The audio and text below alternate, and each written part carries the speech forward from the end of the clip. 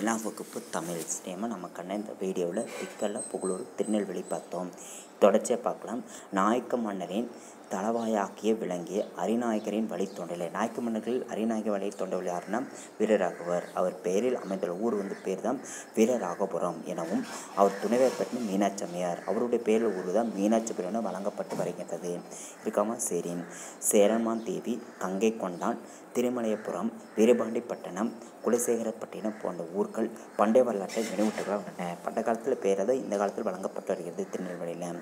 இருக்கமா அது மட்டும் இல்லாமல் பாளையங்கோட்டை உக்கிரன்கோட்டை செங்கோட்டை என பெயர்கள் இம்மாவட்டத்தில் கோட்டைகள். பல இருந்த மிக சான்றாக விளங்கின. பொதிய மொழியில் வாழ்ந்தவர்கள் தான் அகத்தியர். முனிவர்கள் சிறந்த முனிவராக விளங்கியவர் யாருன்னா அகத்திய முனிவர் தான். அந்த அகத்திய முனிவர் பார்க்கும்போது திருநெல்வேலி மாவட்டத்தில் பொதிகமலையில் வாழ்ந்தார். சங்க புலவர். அப்போ சங்க காலத்து புலவர்கள் எந்த மா திருநெல்வேலியில் வாழ்ந்தாங்க. இப்போ திருநெல்வேலியில் வாழ்ந்த சங்க புலவர்கள் யாரான்னு கேட்டேன்னு சொல்லுவேன்? மாரோகத்து நபசலியார் நம்மாழ்வார் பேரியாழ்வார் குமரகுருபரர் திரிக்கூட ரசப்ப கவிராயர் கவிராஜ பண்டதர் ஆகியோர் திருநெல்வேலி செம்மில் பிறந்து தமிழுக்கு செல்மை சேர்த்தனர். அப்போ திருநெல்வேலி பிறந்த தமிழ் புலவர்கள் சொல்லி டூ மார்க் கொஸ்டின் கேட்டால் என்ன சொல்லுவீங்க? சங்க புலவரான மாரோகுத்த நப்பசலையார் எழுதுவீங்க. நம்மாழ்வார் பெரியாழ்வார் குமரகுருபரர் திரிக்கூட ரசப்ப கவிராயர் கவிராஜ பண்டதர் ஆகியோர் திருநெல்வேலி செம்மில் பிறந்து தமிழுக்கு செல்மை சேர்த்துள்ளனர். அது மட்டும் இல்லாமல் வெளிநாட்டு அறிஞர்களிடம் திருநெல்வேலி ஈர்த்திருக்கு. வெளிநாட்டு அறிஞர்கள் திருநெல்வேலி ஏற்ற வெளிநாட்டு அறிஞர்கள் பேர் யாருன்னு கேட்டன சில ஜியூ போப் கால்டவில் வீரமமுனைவர் ஆக வந்து திருநெல்வேலி அவர்களை ஈர்த்தது என்பது நம்ம பெருமை சேர்ந்ததாக சொல்லலாம். சரி ஒன் மார்க் பார்க்கலாம் இல்லைமா திருநெல்வேலி டேஸ் மன்னர்களோடு தொடர்புடையது. அப்போ பாண்டிய மன்னர்களோடு தொடர்புடையது. இனங்கூட எந்த மலைக்கு முதன்மை கொடுத்து பண்ணார்? ஒதிகை திருநெல்வேலி டேஸ் ஆற்றல்கள் அமைந்துள்ளது. தாமிரபரணி அப்புறம் திருநெல்வேலி எந்த மன்னர்களோடு தொடர்புடையது பாண்டிய மன்னர்கள் தொடர்புடையது திருநெல்வேலி. இளங்கோடு எந்த மலைக்கு முதன்மை கொடுத்த பாடினான்னா பொதிகை மலை.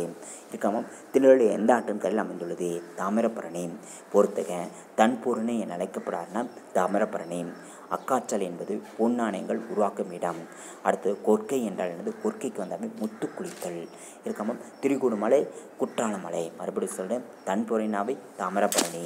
இருக்காமல் அடுத்து பார்க்கக்கூடியது அக்காச்சாலை என்பது பொன் நாணயங்கள் உருவாக்கப்படும் இடம்தான் அக்காச்சாலை இருக்கம் கொற்கை என்றால் முத்து குளித்தல் இருக்கம். திரிகுடுமலை குற்றாலம். திரிகுடுமலை என்ன சொல்லுவீங்க குற்றாலம். இருக்கம். அடுத்தது திருநெல்வேலி சீமையும் கவிகளும். கவி என்றால் கவி புலவர்கள் சொல்லுவாங்க. இருக்கம். நல்ல பாடல்களை படித்து சொல்வது உள்ளத்திற்கு மகிழ்ச்சியளிக்கும். இப்போ நல்ல பாடல்கள் படித்த மாணவ செயலாக இருந்தாலும் சரி இருக்கமும் இந்த பாடல்கள் நமக்கு மனதிற்கு பாமர மக்களுக்கு புரிய வகையில் அந்த காலத்து புலவர்கள் பாடல் பாடினாங்க. அது நல்ல இனிமை தரக்கூடியதாக இருந்தது. அதுபோல் சிறந்த புலவர்களை பற்றி அறிந்து கொள்வது நமக்கு மகிழ்ச்சி. பாடல் எவ்வாறு புரிந்து கொள்ளுமோ அதே போல் புலவர்கள் நம்ம அறிந்து கொள்ளலாம் அல்லவா அதாவது தமிழகத்தில் பல்வேறு பகுதியிலும் சிறந்த புலவர்கள் பலர் உருவாகியுள்ளனர். தமிழகத்தில் பக்கம் வந்து நெல்லை சேலம் மதுரை போன்ற பல்வேறு புலவர்கள் ஒவ்வொரு மாவட்டத்திலும் பிறந்திருக்காங்க.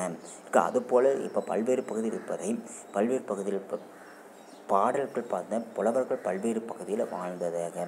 அதில் பார்க்கும்போது திருநெல்வேலி எந்தெந்த புலவர்கள் எதை எதை பற்றி பார்க்கலாம் இந்த பாடப்பகுதி துணை பாடத்தில். இருக்காமல் ஒரு நாட்டில் காவியம் உண்டாக்கி கொண்டே இருக்க வேண்டும் என்று எதிர்பார்ப்பது அவ்வளவு சரியில்லை. பொதுவாக ஆயிரம் வருஷத்துக்கு ஒரு தடவை கவிஞர்கள் பிறக்கிறார்கள். கம் கவிஞர்கள் என்றாவே ஆயிரம் வருஷம் ஒரு தடவை பிறப்பாங்க. இருக்காமல் ஆனால் என்று சொல்வார்கள். ஒரு வகையாக அது உண்மைதான். கவி அவ்வளவு அருமை. ஆனால் கவி அனுபவிக்கிற திறமை அவ்வளோ அபூர்வமான விஷயம்தான் அல்ல. ஆண் பெண் எல்லோரும் அனுபவித்த விஷயம்தான் அது. அப்போ ஆணும் சரி பெண்ணும் சரி எல்லாமே விசைக்கூடியது கவிஞர்கள் தான் இருக்கம் வானத்தில் விளைந்த சுடர்கள் போல இயற்கையில் விளைந்த கவிகளை தான் கவிகள் என்று சொல்ல வேண்டும். வானத்தில் பார்க்கும் சுடர்களை போல சொல்வதும் அதுபோல் கவிகளை தான் கவிகள் என்று சொல்ல வேண்டும். மின்மணி பூச்சியும் காக்கா பொன் ஐயா கா மின்மணி பார்க்கும்போது லைட் எரியுது அது வெளிச்சிருக்குன்னு சொல்லி நம்ம முடியாது நம்ம நம்ப கூட முடிய அதை நம்ப விட முடியாது. இருக்காமல் அதே போல் காக்கா பொன் காக்கா என்றால் தகடு தான். அது தங்க போண்டு இருக்குது அதாவது அது தங்கமே கிடையாது. அது மட்டும் நம்ப விடக்கூடாது. அது திருநெல்வேலி ஜில்லா நடிகள் உண்மையான கவிஞர்கள் பிரிந்திருக்கிறார்கள். நம்ம திருவிழா திருநெல்வேலி சீமையிலே போகும்போது எல்லா அறிஞர்கள் பிரிந்திருக்காங்க பு புலவர்கள். அவர்களுடைய பாடல்களை மக்கள் அனுபவித்து வந்திருக்கிறார்கள். அந்த வகையில் பார்க்கும்போது பாரதியார் பாரதியார் பார்க்கும்போது நம்ம திருநெல்வேலி மாவட்டத்தில் எட்டைப்புறத்தில் சேர்ந்தவர் தான். எட்டைப்புற சமாஸ்தானம் நெடிகளும் ஊர் ஊராய் புலவர்களும் கவிராயர்களும் வாழ்ந்தனர். தேசிய விநாயகனார். கன்னியாகுமரி பக்கம் அதாவது நாஞ்சு நாட்கள் பிறந்து வளர்ந்தவராக இருந்தாலும் தமிழ் எங்கு கட்டார் கன்னியாகுமரி மாவட்டத்தில் நாஞ்சு நாட்டு பிறந்து வந்தாலும் தேசிய விநாயகர் பிள்ளை நம்முடைய திருநெல்வேலியில் என்ன பண்ண தமிழ் படித்தார். திருநெல்வேலி தான். இருக்கும் அடுத்து பார்க்கக்கூடியது பாரதியாரும் நம்முடைய தேசிய விநாயகரும் நம்மோடு ஒட்டியவர்கள் தான் பாரத தேசம் நம்ம இதில் இருக்கிற நம்ம காலத்தை சார்ந்தவர்கள் தான் அதற்கு முன்னோக்கி போனால் நிறைய புலவர்கள் இருப்பாங்களே அதை பற்றி அறிந்து கொள்ளலாம். அவர்களை விட்டு விட்டு கொஞ்சம் முந்தியுள்ள கவிஞர்களை பார்க்கலாம். கோயில்பட்டிலிருந்து கிழக்கே எட்டு மைல் தூரத்தில் தான் பாரதியாரின் பிறப்பிடமை எட்டைபுறை இருக்கிறது. அங்கே சுமார் அதே தான் எங்கே இருக்கிற திருநெல் மாவட்டத்தில் உள்ள தூரத்தில் எட்டு மைல் தூரத்தில் தான் எத்தனை பாரதபுரி எட்டைபுரம் திருநெல் மாவட்டத்திலேருந்து எட்டே எட்டே கிலோமீட்டரில் எட்டைபுரம் இருக்குது அதை ஒட்டி தான் பாரதியார் வாழ்ந்த ஊராக பிறந்தவர் கடிகை முத்து புலவர் தான் அவர் வெங்கடேஸ்வர எட்டப்ப ராஜாவை பற்றி பாடல் பாடியிருக்கார். கடிகை யாரை பற்றி பாடியிருக்காரு வெங்கடேஸ்வர எட்டப்ப ராஜாவை பற்றி பல பாடல் பாடியிருக்காரு. இவர் பார்க்கும்போது இவர் எங்கே இருக்காருன்னா மணியாச்சிலிருந்து ஏழு எட்டு மைல் தூரத்தில் தாமிரபரணி நதியும் சிற்றாரும் கலக்கிற இருந்தால் சீவலப்புரை என்கிற முக்கூடல்.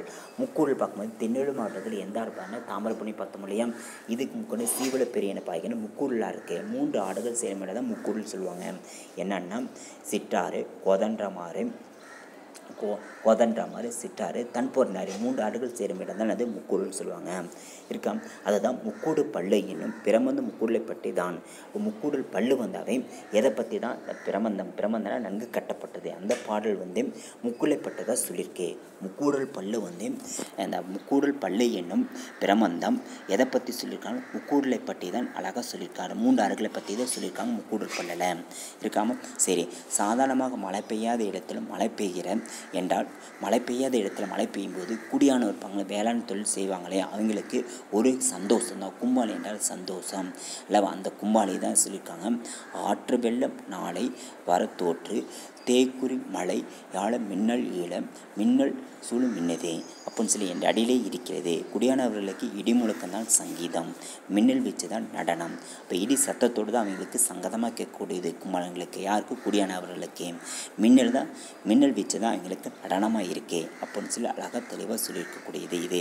இந்த பாடலில் இருக்காமல் இனி திருநெல்வேலிக்கு போகலாம். இது சும்மா ஓரளவு சொல்லிக்கக்கூடியது.